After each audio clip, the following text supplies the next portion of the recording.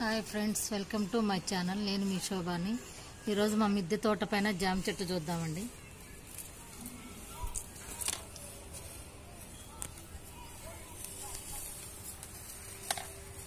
చూడండి ఎంత చిన్న చెట్టుకి ఎంత పెద్ద కాయ.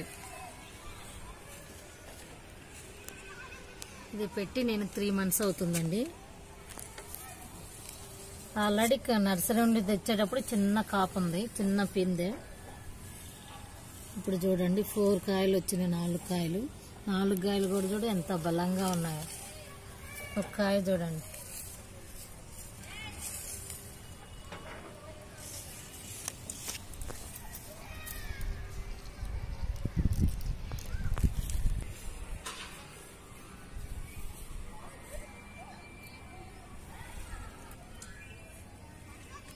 చూడండి వింత ఇంత ఇవి ఇంత బలంగా పెరగటానికి బియ్యం గడిగ నీళ్ళు పోస్తున్నానండి నేను. కిచెన్ వేస్ట్ వేస్తున్నాను. ఇవి ఫస్ట్ చూసినప్పుడు ఈ చెట్టుని చూసినప్పుడు భయం వేసిందండి. చిన్నగా ఉన్న కాయలు. అసలుకి ఇవి పెద్దగా అవుతాయా బావా అనుకున్నాను.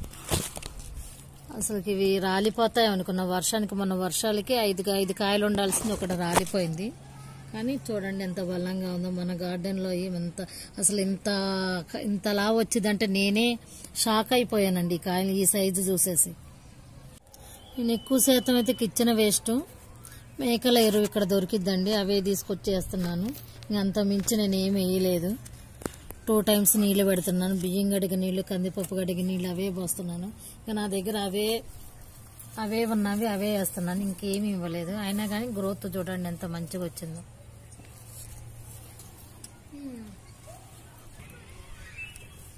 ఇప్పుడు నేను ఈ కాయను హార్వెస్ట్ చేస్తున్నాను. చూడండి ఇది కొయ్యాలన్నా నాకు ప్రాణం అప్పట్లేదు.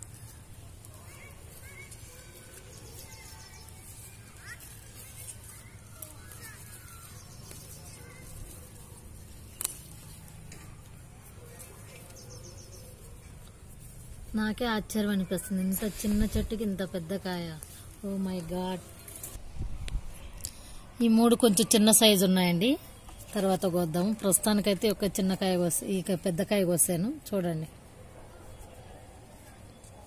ఇది కొంచెం పండింది అందుకే కోసాను. ఇవి కొంచెం పచ్చిగా ఉన్నవి. ఇది హార్వెస్ట్ చేశానండి. కోసాను. చూడండి ఎంతలా ఉందో. మీరు కూడా ఇలానే మీ గార్డెన్లో ట్రై చేయండి. చూడండి ఒక కాయ కోసాను ఒకటి. హార్వెస్ట్ చేశాను.